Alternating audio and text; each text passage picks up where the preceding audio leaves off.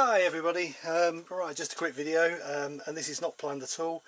This is me um, putting together an S500 multi-rotor airframe, a quad frame from scratch. Um, it's the first time I've opened the box up. I've had no experience in these before, well in these particular quads anyway. Um, I have not seen inside the box yet so I'm hoping it's all here but this is your typical cheap 15-20 quid quadcopter um, from Hobby King.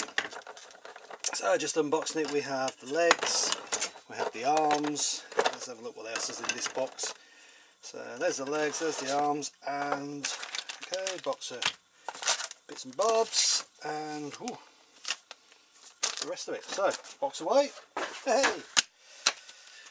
There you go, that's pretty much what's in the box. I'll get rid of that. So we have four legs, like so we have the quadcopter frame we have the box of bits and we have the arms themselves. Um, yeah don't look too bad. Um, similar to DJI um, cheaper versions obviously. Um, pretty light to be honest so right let's get on with it. Hopefully uh, it will make a good video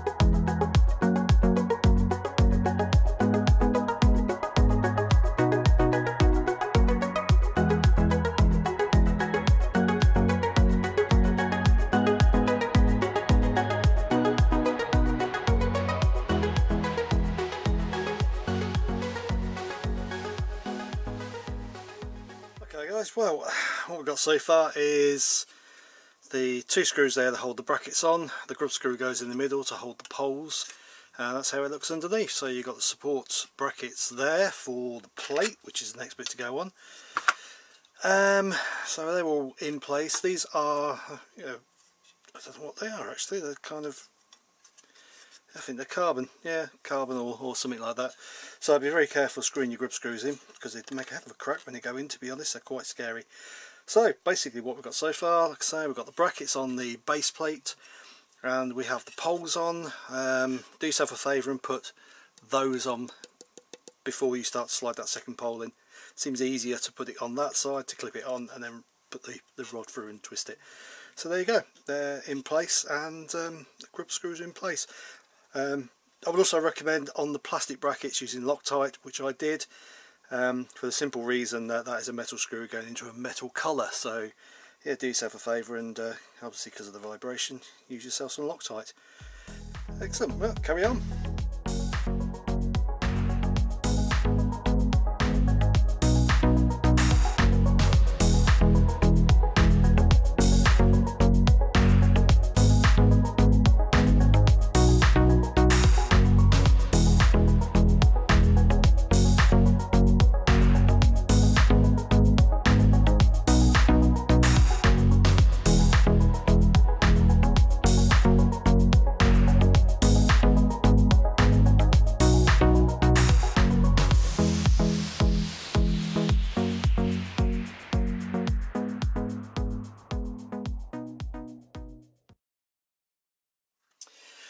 So there you go, next bit, uh, got the plate on now, um, I guess to hold the battery, that would be the logical solution to me.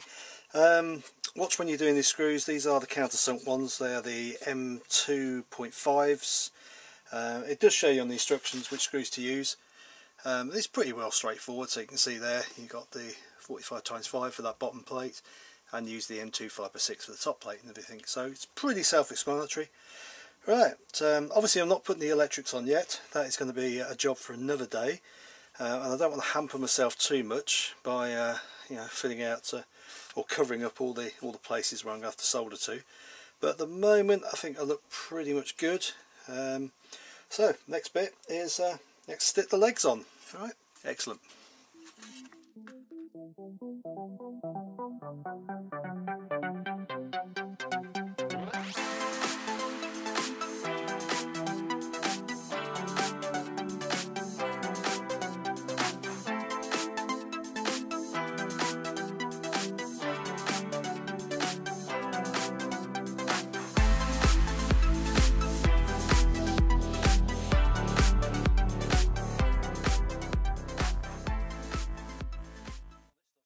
to uh, come towards a little problem.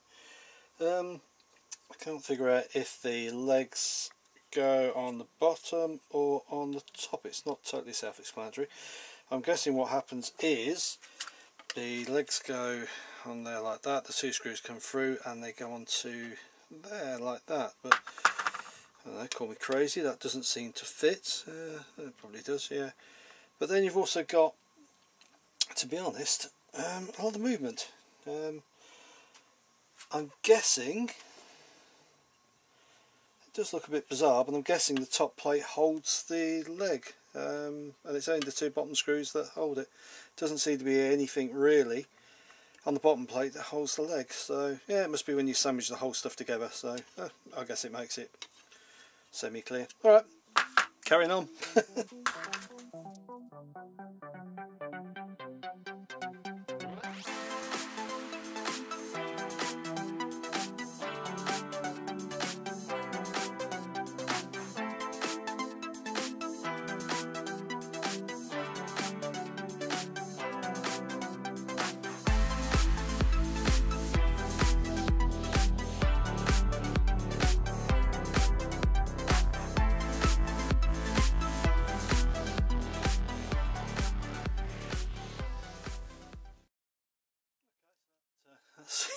seems to make sense.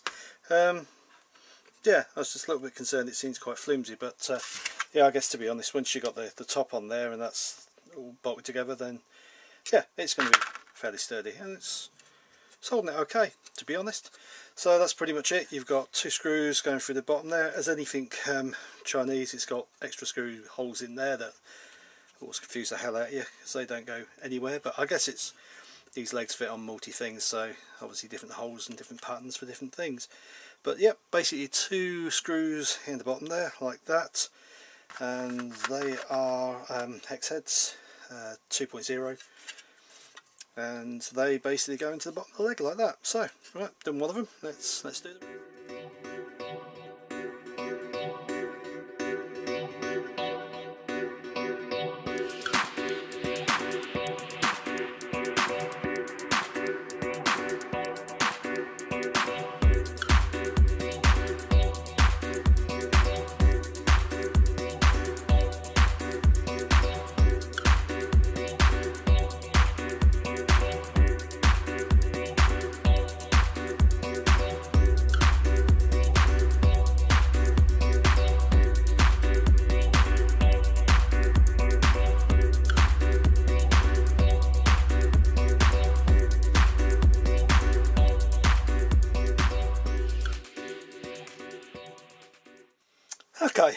wasn't so bad. Um, so it's yeah, it's looking fairly sturdy. Uh, a little bit playing the legs, but pretty good to be honest. Obviously all the arms are on there, so uh, yeah. So far for forget what it was, 20 odd quid, 25 quid, doing it right. Um, so obviously top plate goes on there, um, but uh, oh, and actually it's got locking locking tabs in there as well. That's the first time I've seen something like that, so that's quite impressive. So that locks in there, they've got tabs there, obviously three screws per each leg, um, and they all seem to line up okay. Um, so that will give you the basic hexcopter frame. Um, yeah, at the moment, I have to say that's that's not too bad at all. Um, again, uh, the instructions, yeah, pretty much show you everything you got to do. Um, the screws, I have to say, big up to, to Hobby King, or whoever makes these. Um, obviously I've got a lot of screws left over for at the moment for putting the motors on and stuff like that. But I've found that I've got one extra on the legs arms, uh, one extra grub screw for holding in the, the carbon poles, and one extra the countersunk. So um, yeah, makes a change not to have missing screws. Uh, so excellent, yeah, impressed with that. So that's part one. Um, obviously what I've got to look at now is breaking down my hexcopter, taking all the bits off I need for that and starting to build this up. So obviously a lot of soldering to go on. Um, there's uh, all the motors to go on the speed controllers and got to sort of cram everything into there that at the moment is sitting on my hexcopter. Um, so that's it for now. Uh, hopefully you'll join me for part two. Cheers all.